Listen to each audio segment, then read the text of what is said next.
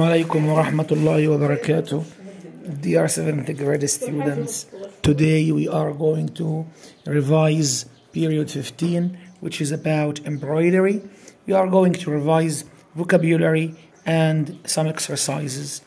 مفردات وحدة الخامسة عشر خلينا نبدأ بالمفرد الأولى دوتر دوتر معناها ابنة عايز ذكرك إنه son معناها ابن son معناها ابن. إذا daughter ابنة. Son ابن. طيب design تصميم. design تصميم. شوف design و pattern و pattern و embroidery تقريبا تقريبا لهم معنى متشابه. design pattern و embroidery تقريبا لهم معنى متشابه. اذا design تصميم. embroidery تطريز. وتذكر إنه embroidery تطريز هذه هي ال noun في عندي embroidered بإضافة ed لنفس الكلمة ed يصير عندي إيش؟ embroidered اي اي دي بحذف الواي embroidered مطرز. وعندي embroider embroider بحذف ال y هذه بنحذف الواي في embroider. تمام؟ بتصير هي الفعل يطرز. okay. intend ينوي. وأقرب معنى ل intend موجود معنا وحنستفيد منه أو استفدنا منه في القواعد going to. هذا مش معنى مية في المية لكن في القواعد إحنا خدنا إنه intend و going to يعبران عن النية. عشان هيك بتلاقي المعنى تبعهم متقارب. طبعا عندي pass on يمرر pass on past إلى عكسين. في ناس بتقول إنه past عكسها present. في ناس بتقول إنه past عكسها present. وفي ناس بتقول past عكسها future. في ناس بتقول past عكسها future. فلو أنا جالي past عكسها present و past عكسها future أي واحدة من التنتين صح. skills مهارات و soft ناعم وعندنا حاجة اسمها soft skills المهارات الحياتية أو المهارات الناعمة wonderful wonderful رائع ولها عدة معاني إلى 11 معنى قلنا great fantastic fascinating exciting amazing um, uh, cool uh, excellent perfect كلها معنى ل wonderful introduce يقدم ومنها تأتي كلمة introduction مقدمة make up يصنع. Make up يصنع. Meaning معنى. Meaning معنى. Pregnant حامل. Pregnant حامل. Start up يبدأ. Strengthen. تعال على strengthen. عكس strengthen weaken. أول إشي تعال نبدأ واحدة واحدة. أنا عندي strong هاي الكلمة الأصلية.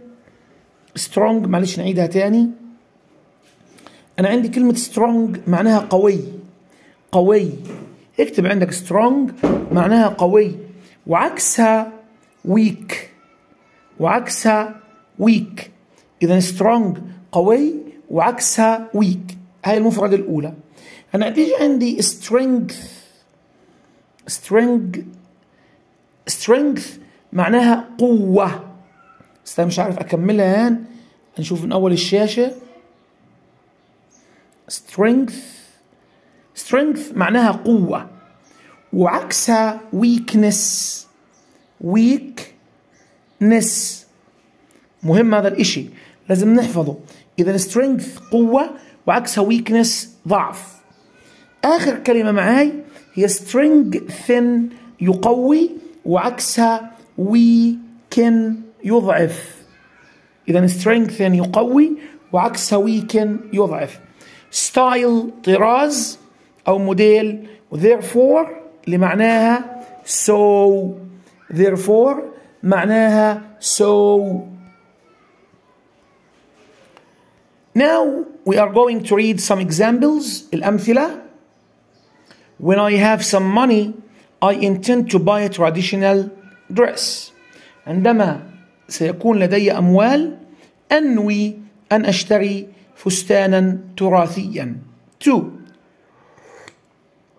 Mothers teach their daughters traditional skills الأمهات علمن بناتهن المهارات التقليدية The design on the vase or on this vase is beautiful التصميم على هذه المزهرية جميل We learn about traditional clothes at school تعلمنا عن الملابس التراثية في المدرسة.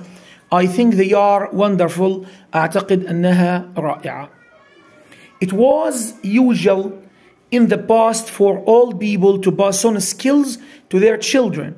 لقد كان معهودا أو متداولا في الماضي لكبار السن أن ينقلوا مهارتهم لأبنائهم أو أطفالهم.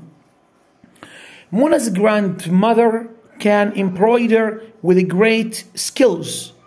جدة منى تستطيع أن تطرز بمهارة عالية. للي مش متبع لوين وصلنا لهان. نكمل. I want to learn a lot about embroidery. أريد أن أتعلم كثيرا عن التطريز so I intend to do a lot of work. ولذلك أنوي أن أعمل كثيرا أو أجتهد كثيرا. I like the design on that modern building. It looks good. أحببت ذلك التصميم على المنزل أحببت أحببت تصميم ذلك المنزل الحديث. إنه يبدو رائعا. خلينا أذكرك أنه كلمة لوكسان معناها يبدو وإلها عدة معاني.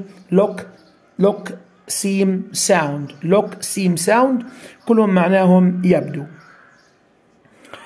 The family has had that house for a long time العائلة لديها ذلك المنزل لمدة طويلة they pass it on from parents to children لقد مرروه أو ورثوه من الآباء إلى الأطفال people don't make many clothes now they made more in the past. الناس لم يعودوا يصنعوا الكثير من الملابس الآن لقد صنعوا أكثر في الماضي.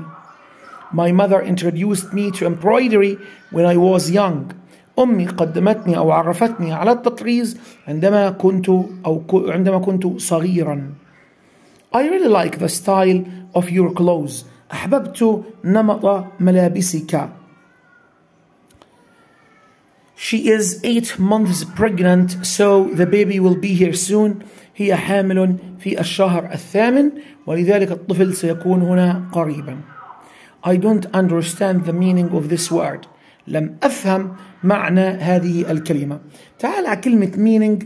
عايز أقول لك بعض المصطلحات عنها يا ريت نكتبها ونحفظها. مين؟ نعاود نكتبها في مكان ثاني meaning. مين هي الفعل الأساسي؟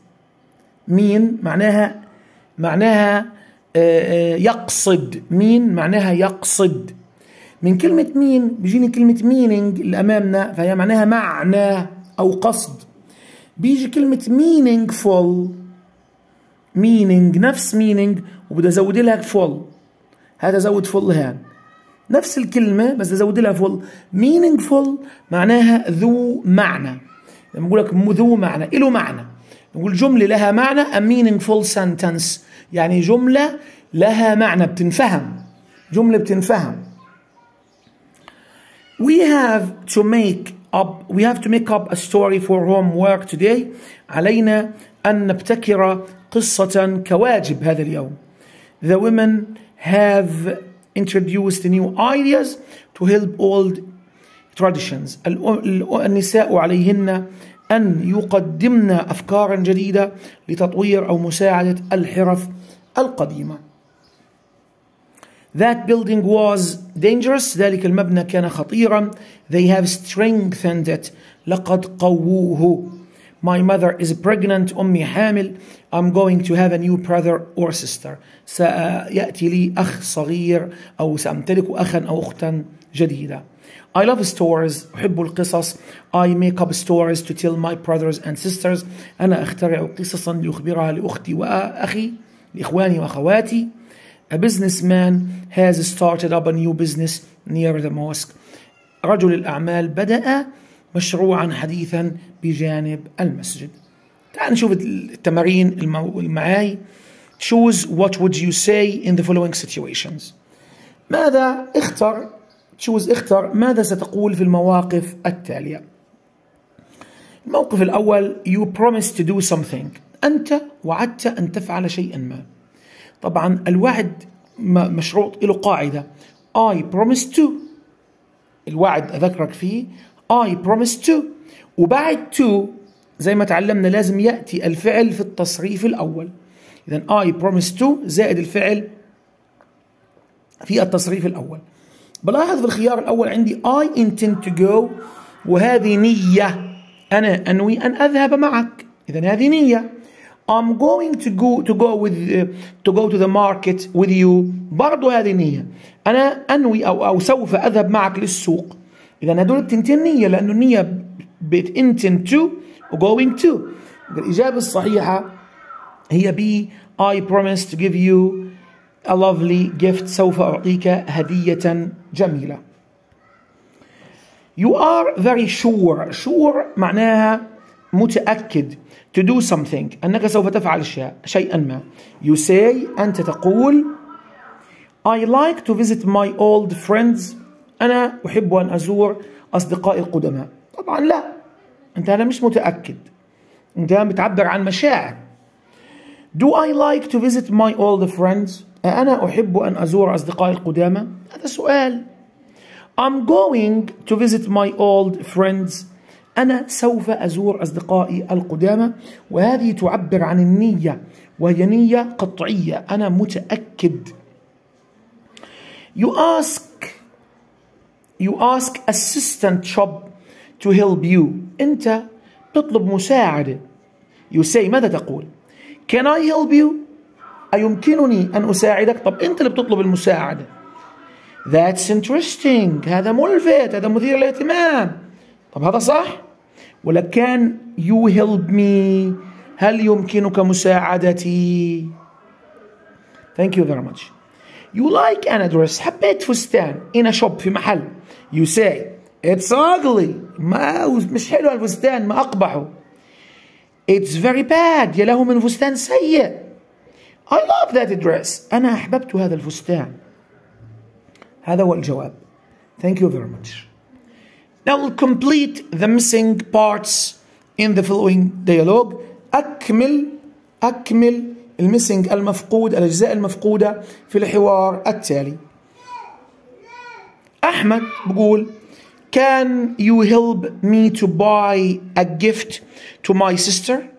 زي ما حكيت لك في الدرس كلمة buy في معانا الأيام هذه في الامتحانات مرتبطة ب gift إذا شفت buy أدور على gift إذا شفت pattern أدور على color إذا شفت spend بدور على money إذا شفت river بدور على bridge صح؟